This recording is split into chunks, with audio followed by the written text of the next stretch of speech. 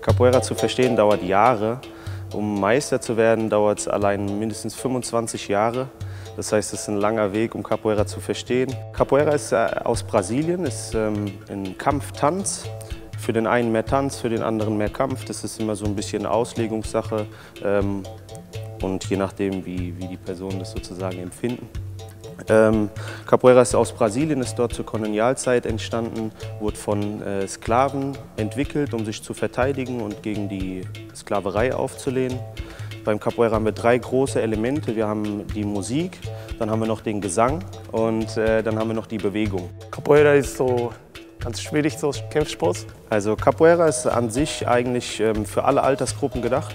Das heißt, von 5 bis 99 kann gerne jeder zum Training kommen. Ähm, es gibt für alle Altersklassen immer entsprechende Übungen, die man machen kann. Und es ist äh, ziemlich persönlich. Aber dadurch, dass Capoeira so facettenreich ist und es so viele Aspekte zu lernen gibt, ist Capoeira schon nicht die einfachste Sportart. Mhm. Ich zeige dir einmal ganz kurz, wie das Ganze funktioniert. Wenn du magst, kannst du gerne mal ausprobieren. ja.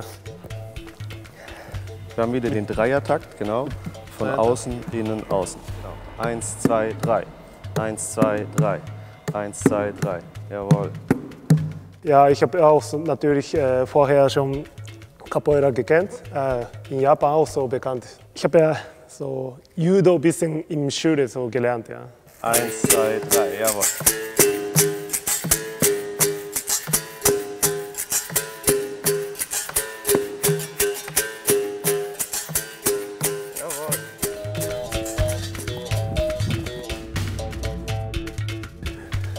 Achtung.